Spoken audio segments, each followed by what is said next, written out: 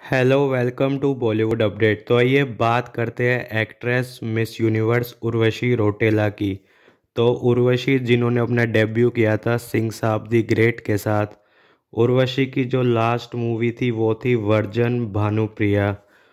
उर्वशी रोटेला ने अपने पूरे करियर में कोई हिट मूवी दी है? आई थिंक मुझे तो याद नहीं है। उर्वशी ने अब तक जितनी भी मूवी करी आई थिंक सारी मूवीज़ फ्लॉप है उर्वशी की। तो अब उर्वशी की एक और न्यू मूवी आ रही है, काफ़ी टाइम बाद। तो उर्वशी की जो मूवी है, उसका नाम है दिल है ग्रे। हाँ जी, दिल है ग्रे। ये मूवी रीमेक होने वाली है, एक तमिल मूवी का।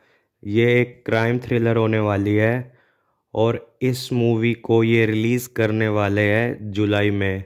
हाँ जी, इसी साल के जुलाई में ये मूवी रिलीज़ होने वाली है। इसका अनाउंसमेंट हो गया है। इस मूवी का जो ट्रेलर है, वो हमें नेक्स्ट मंथ में देखने को मिलने वाला है। तो देखते हैं कि उर्वशी की ये वाली मूवी थिएटर में सक्सेसफुल हो पाती है या नहीं हो पाती है। तो आप उर्वशी रोटेला की न्यू मूवी दिल है ग्रे के लिए कितने एक्साइटेड है, आप हमें अपनी राय कमेंट सेक्शन में ज़रूर बताएँ।